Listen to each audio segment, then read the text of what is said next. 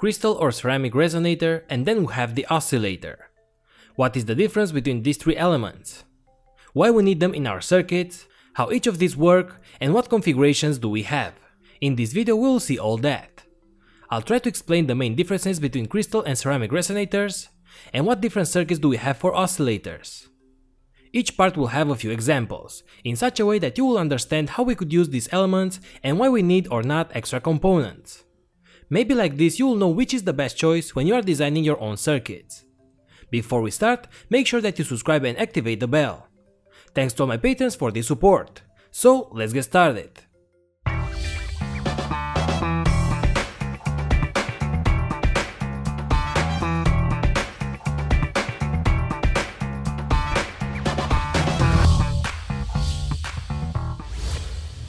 You can meet the sponsor of this video, JLC PCB, at the Maker Faire in Rome between 18 and 20 October, and they will be giving out gifts, and you may meet other YouTubers on their booth as well. JLC PCB now becomes the most popular PCB brand, with more than 700,000 customers worldwide, with always improving their order experience and PCB prototypes for only $2. What's up my friends, welcome back we can see some small components on a lot of circuits, just like this one this STM32 board has. And this is a crystal, in this case an 8 MHz one. First of all, this megahertz, or the smaller unit, the hertz, is the derivative of unit of frequency in the International System of Units, and is defined as 1 cycle per second. So this defines speed, amount of cycles, oscillations. Pretty much all circuits will have some kind of oscillators. We use it in digital clocks to count seconds and to be able to precisely tell the time. We use it for the LCD circuits in order to set the refresh rate that we want. We use it with our dear microcontroller in order to create precise signals, synchronous communications, count time and much more. Without a precise clock signal, all electronics devices would not be synchronized and everything will fail. So how can we get these oscillations? We need some components that will oscillate, and we could know for sure the length of that oscillations, as for example in an old analog clock, a pendulum. We know the period of oscillation of that pendulum, add a few more gears and extra parts, and then move the needle of a clock and count time quite precisely. But of course pendulums are not good components to use in tiny electronics. That's why we have the resonators. Have you ever made to oscillate a thin sheet of metal? That will oscillate at its natural resonating frequency as we can see here. But this will stop after a few oscillations, so we need to strike it again. But we could connect a voltage to this metal sheet, place an electromagnet on one side, and each time that the metal will touch the other polarity of the voltage, we push the metal and that will always oscillate.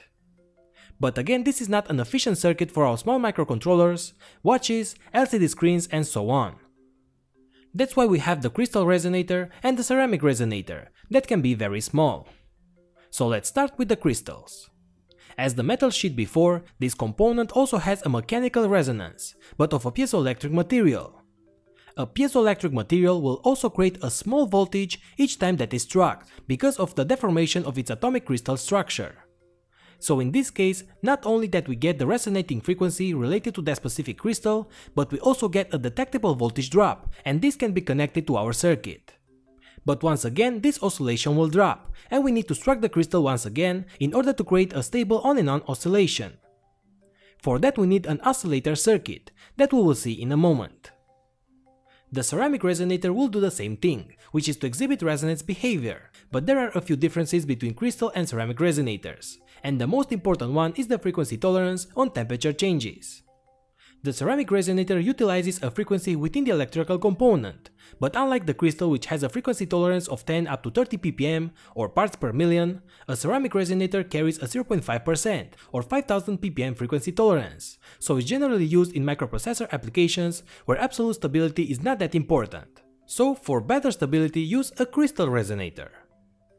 But as we have seen before, a crystal resonator can't work by its own it will need an oscillation circuit, so let's see a few examples.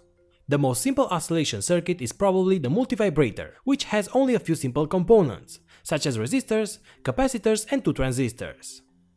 This is called an RC oscillator and this won't need a crystal. This is the circuit, and if we apply a voltage on these resistors, the capacitor will charge up and that will turn on the transistors on one side, that will empty the capacitor, then the other side will charge up and so on. So this will create an oscillation signal, and the frequency is given by the capacitor and the resistor values. I mount this on the breadboard and I add two LEDs on the charging resistors and as you can see, now we have the oscillation between the two sides and a good square wave that we could use. If we change the capacitor or resistor values, we can make the oscillation faster or slower.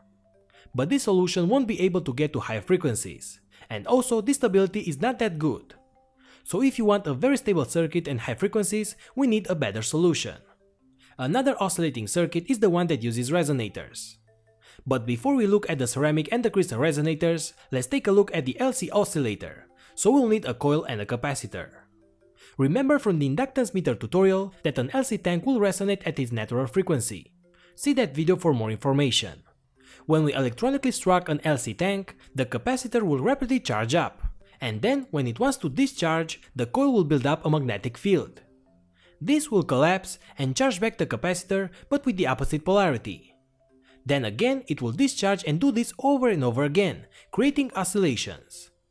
This will oscillate at the resonance frequency which is given by the capacitor and the inductor coil values. So by knowing the values we can create the signal that we want. Check all the formulas that you need to calculate the resonating frequency of the LC tank and more. But if we take a look on the oscilloscope at an LC tank resonating, we can see that after a few oscillations, the amplitude is decreasing, till we have no more oscillations. That's due to the internal losses, because of the circuit resistance that will lose power into heat.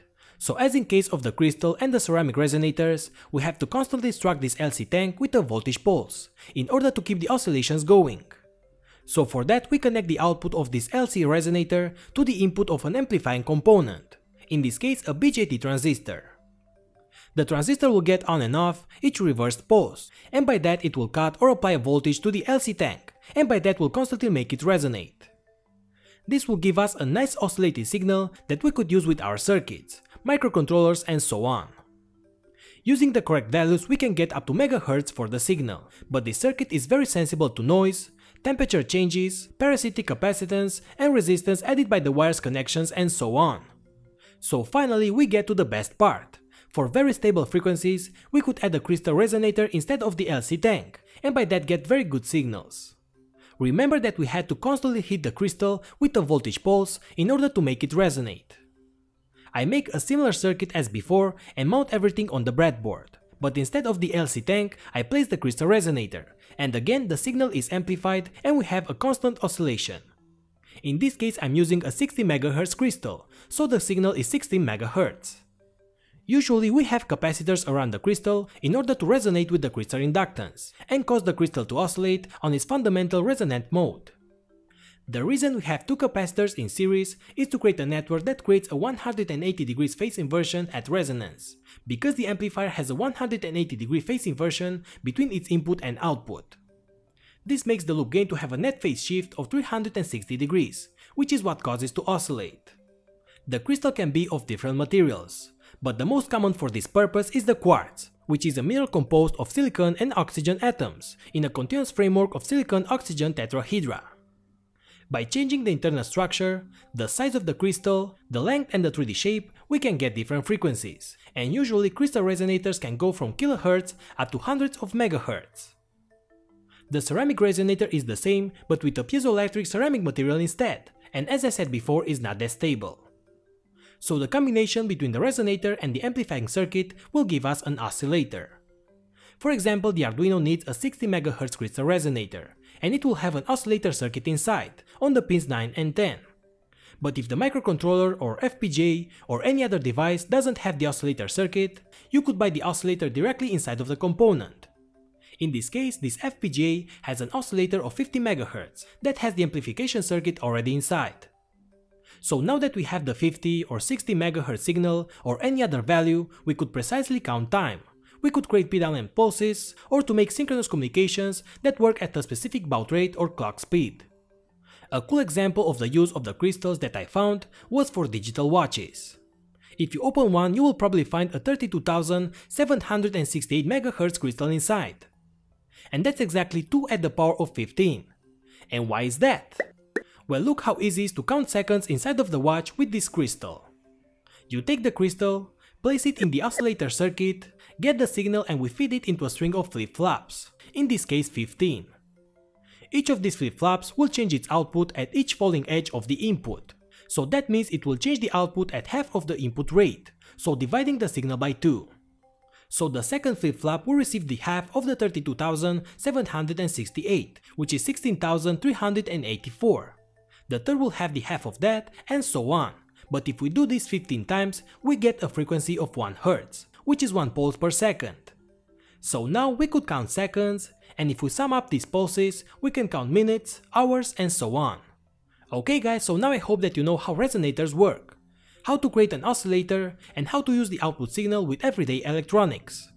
Each resonator might need some extra components, so always check the datasheet of the crystal, the microcontroller that you use, and so on. I hope that you learned something new today. If you like this video, hit the like button and also consider subscribing. Remember to activate the notification bell as well. Consider supporting my work on Patreon. Thanks again and see you later guys.